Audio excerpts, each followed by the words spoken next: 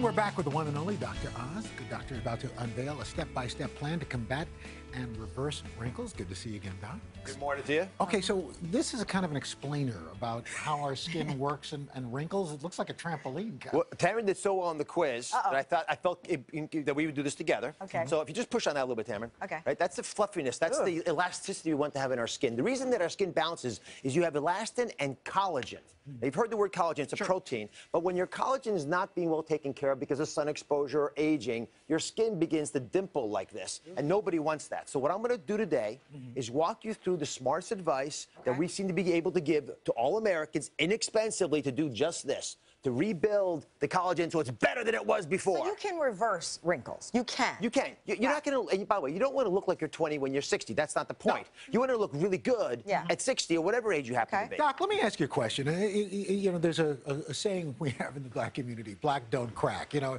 people of color tend to wrinkle less. Is that Is that true? Is that anecdotal? or 100% true. Really? When I see patients in my office, you know, I still operate one day a week. I, I'm no better now than I was when I started guessing the age of many of my patients who are African American. The reason is you're automatically wearing an SPF of 20 or 30.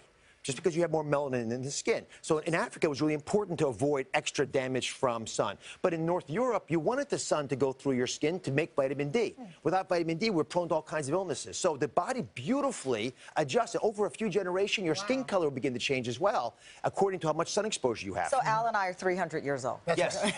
you look so good. Well, We're you Yoda. products? What do you have with products? here? So moisturizer is the foundation of anything we're going to talk about. It's step number one for a bunch of reasons. It, it, it lubricates the skin in a way that's useful. Most people, I think, know that. They don't appreciate how fundamentally critical it is. Mm-hmm. So what I recommend is you get a moisturizer that's more of an ointment than a lotion. Mm-hmm. Ointments are a little thicker. So if you look at them there, oh. they got you know a little thickness to them. Mm-hmm. They go on better for that reason. And I recommend you get one with an SPF of at least 15, but preferably 30. Wow. You can put it on in the morning. I put a moisturizer on twice a day. Me too. It was one of the best presents I ever got. Once in the morning, once Me in the too. evening. You know, you go to these department stores and you see these like really, really expensive moisturizers.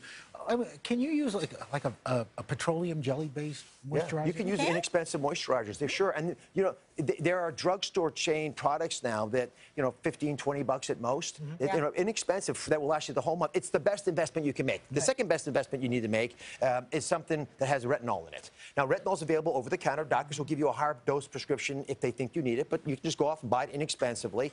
Now, my mom, there's no medical way of doing this that's ideal, but mom would always dot herself little polka dots all over her face, mm-hmm. Mm-hmm. especially under the eye.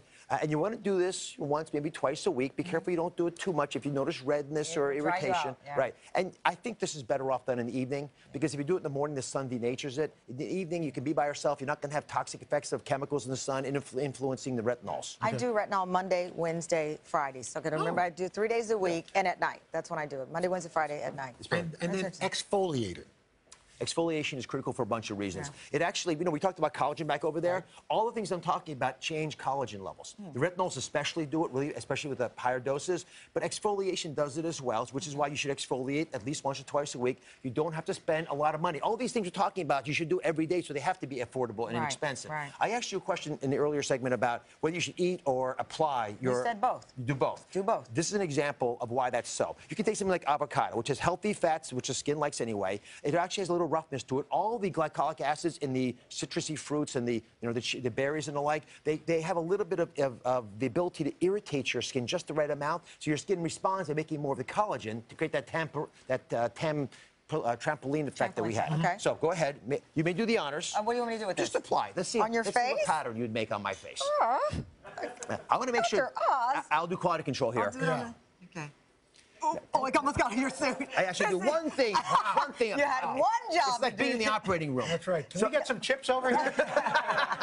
What, really tasty. what is this doing to you other than a mess? So it's, it's something called glycolic acid, which is naturally present in a lot of foods. And when you apply it to your face and leave it there for 10, I'm 15 no minutes, I yeah, think. you're, you're doing two things. You're stimulating with glycolic. Thank you very much. Glycolic acid, um, a reaction in the skin. Uh-huh. But you're also, when you're washing this face, you're also debriding a little bit of the old skin on the surface, Mm-hmm. and so it allows the younger skin to reflect light more accurately. That gives you that shine, that life, that body that you want your skin to have. and after your show today, you're going to be appearing in Wicked. That's yes, really